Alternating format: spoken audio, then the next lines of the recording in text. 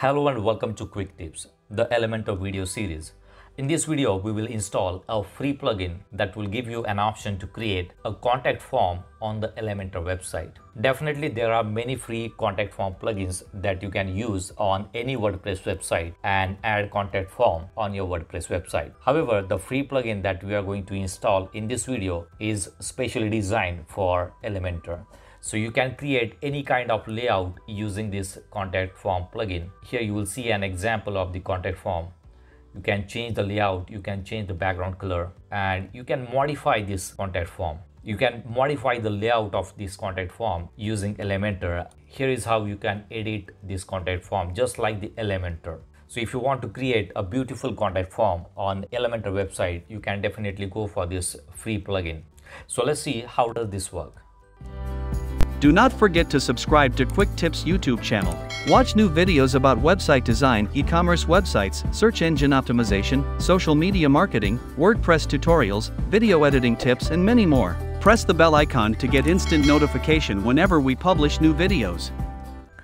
So here I'm logged into the dashboard of the WordPress website and on this website I'm using Elementor page builder and I also have Elementor Pro installed on this website. Now here I want to add a contact form on this website. So what I'll do, I'll go to the plus sign and here I'm going to search for form and I can see one option here, form. I'm going to drag it and drop it here and you will see a simple contact form added to the page. This form is a part of Elementor Pro plugin. So if you do not have Elementor Pro plugin, then you will not see this form option on your Elementor website. So I'm going to delete this one.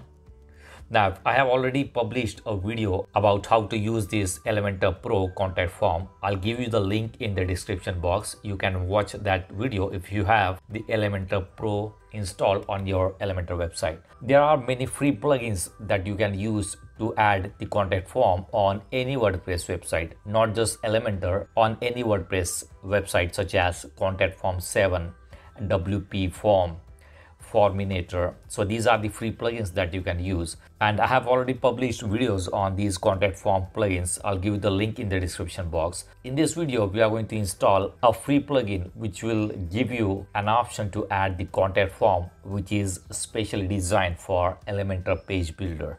So let's go to the dashboard and then go to plugins and click on add new. Now I'm going to search for Elementor form. Now here you will see different options Forminator, Elementor. This one is contact form plugin, essential add-ons. So these are not the, actually these are the add-ons. The one we are looking for is MetForm. This is the plugin that we are going to install in this video. I have already published video on this WP forms also. It can be used on any WordPress website. So this is the form that we are going to use. So instead of Elementor form, I'm going to search for Met form. So this is the name of the plugin, Met form. So here you will see that option. Click on install now. So here you will see that Elementor contact form builder. So this is specially designed for Elementor page builder. Click on activate.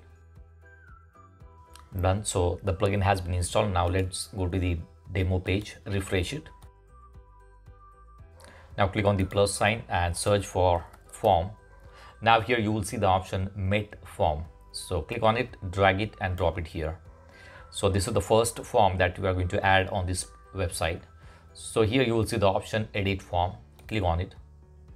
Now you will see two different options, select form and new. So as of now, we do not have any form created on this website. So we will not be able to select any form here. So I'm going to create a new form. So if you have already created any form, then you can you will see the list of forms here and you can use that form. So now let's go to the new and here you will see different options. These are the pre-designed contact forms that you can use. This is simple. This is simple contact form and this one is form. This is admission form, booking form. If you want to see the demo, you can simply click on this option and it will open the demo so this is how the form will look. First name last name mobile number email address. This is the date. So this is a booking form uh, for i guess the hotels. Number of adults number of children and the comment box. This is how this form will look. So i'm going to select a simple form. If you want to start from the scratch you can simply select this blank one. So i'm going to select this one and click on edit form so this is how the form will look so this is the pre-designed form now here you will see the reCAPTCHA option so if you want to add a reCAPTCHA, then you will need to get the reCAPTCHA keys from Google. So once you get the reCAPTCHA keys, you can go to Elementor and then go to settings, then go to integration. And here you can enter the site key and secret key for the reCAPTCHA and save the settings. Once you enter the reCAPTCHA settings, reCAPTCHA keys, you will see this option enabled here. So right now I'm not going to add this reCAPTCHA. So I'm going to delete this option, right click on it and delete this one. Okay, now this is the first name, last name, email address, subject. Now here you will see different elements or the different fields that you can add on this MetForm. So here you will see email, number, telephone, date, time, select. Select is nothing but the drop down, checkbox, radio, switch, range, slider, so there are many different form fields that you can use. So what i'm going to do here i see subject. I do not want this. Going to delete this one. So right click on it and delete this one. So we have removed the subject. Now i want the telephone number. So i'm going to select this one. Here you will see telephone. Drag it and drop it into this column okay now this is the form field and here you will see the settings of this form field. So it shows the position here. This is the label telephone and this is the placeholder. You will see the placeholder here. And this is the help text. Here you will see the help text. These are the help text. So i'm going to use something here. Enter. So here you will see the help text. Now the style of this field looks different than this one. So what i'm going to do i'm going to use the same style for the telephone also. So right click on this email address field copy it. Now right click on this telephone and click on paste style. So it is going to apply the style of the other field and it will look similar to this one. Okay so this is how you can match the style of the new field now if you want to add more fields you can add more fields. So simply like the elementor column you can customize you can change the style setting of this one. Now i want to make it required. So i'm going to go to telephone. And here at the bottom you will see settings. Make it as required. If you want to validate you can validate by character length. And this is the warning message okay now this is the comment. If you want to add more sections you can also add more section. Right now this is two column. Let's see how we can add more. So click on this option. And I want to add some columns. So I'm going to use section. So here you will see the option inner section. I want it below telephone number. So I'm going to drag it and drop it below this one. So the new section has been added. I wanted three columns so I'm going to add a new column here. So right click on it and click on add new column. So here you will see three column section. Okay now here i'm going to add let's say select option. Drag it and drop it here. So it's like a drop down. And i'm going to make it people. This is just an example. Placeholder will be please select. Number of people item is one person. This is the first option. The second option will be two people. Third option will be three people.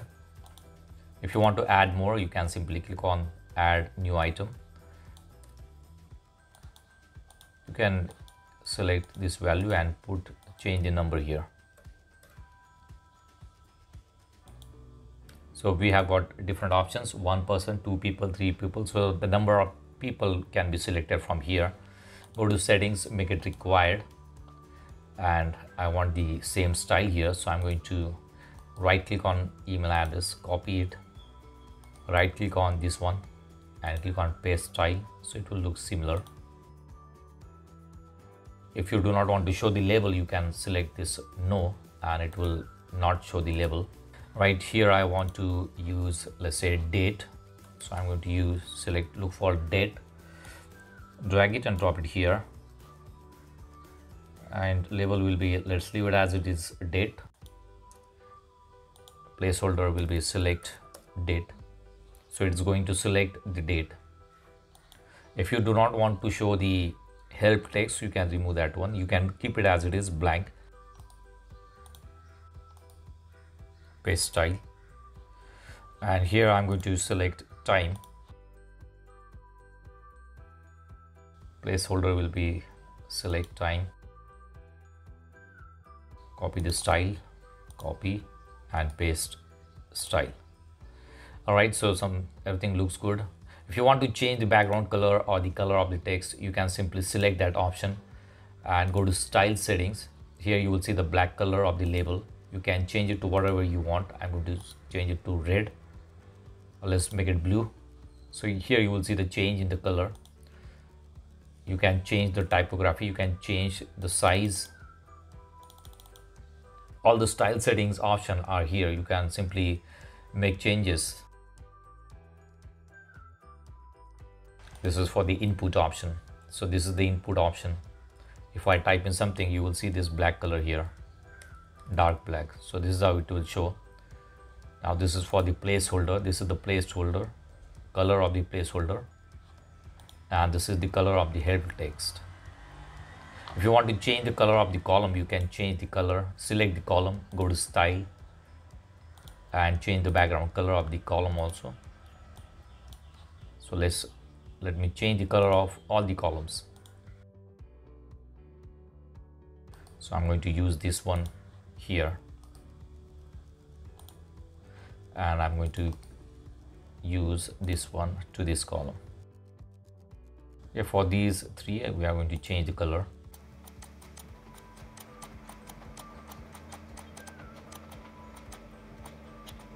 Right now let's select the button and you can change the color of the button. Select the button go to style and from here you can change the color settings of the button okay now here you can change the content. Right now it says send message. You can make it submit or whatever text you want on the button you can change alignment of the button. If you want to add icon you can also add the icon. All right now let's update this. Okay now let's click on form settings. We need to change the settings of the form. So this is the title of the form. Let's make it contact form so this will be the title of this particular form. This is the success message required login. So do you want people to be logged in? So no leave it as it is. Leave it as it is. Store entries. So if you select store entries all the entries will be stored in the database. So you will be able to see the entries on the wordpress dashboard also and you will receive the email also. Okay you can limit the total entries. So leave it as it is. If you want them to redirect to any specific page after submitting the form. You can type in or you can paste the link here. So they will be redirected to that particular page after submitting the form. Now let's go to confirmation. If you want to send a mail to the customer after submitting the form you can select this option and it will send the email to the user. Okay, now let's go to notification. This is the notification mailed to the admin. So whenever someone fills up the form, it will send you the email address. So it will send the email to your email address. So let me send, this will be the subject. And here you can enter your email address. So the form will go to this particular email address. If you want to add multiple, you can simply put a comma and add new email address there. And this is email from. So here you can type in your domain email address. Any email address that is related to your domain reply to leave it as it is and admin note. If you want to add any admin note you can add it here. Leave it as it is. Now let's click on save changes. Let's go to form settings again and here go to integration. If you want to integrate this form with third-party mailing services such as HubSpot, MailChimp. You can enable it and you can add the required information here. Okay, so let's click on Save Changes. Okay, now let's click on Update and Close. So here you will see the form. I'm going to update it. Now let's view the page. Now here you will see the contact form. So this one looks really good as compared to other contact forms. Here you can customize the layout of the contact form according to your website requirement. Now if you want to use the same form on the other page, you can do that also. You simply let's use the same form just below this one as an example. Click on the plus sign and go to form. You will see the MetForm. Drag it and drop it here. Now click on edit form now here you will see select form. So this is the form that we have already created. And if you want to use a new one, you can create a new one here. So you can use the pre-designed form also. So let's go to the dashboard. And here you will see the option MetForm. Click on it. Now here is the form that we have created. You can see the form here. If you want to make any changes, you can make changes to this form also. So this will be reflected on all the forms. So you can make changes to the contact form using the Elementor. So this is one of the best free contact form plugin that you can use for the Elementor website. So that's it for now. See you in the next video. Do not forget to subscribe to my channel to get more quick tips about online softwares and tools. If you have any questions, please leave us message in comments section. And press the like button if you like the video. Thanks for watching Quick Tips.